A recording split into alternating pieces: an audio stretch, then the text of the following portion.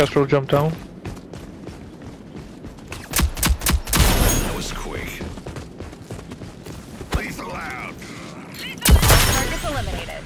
What?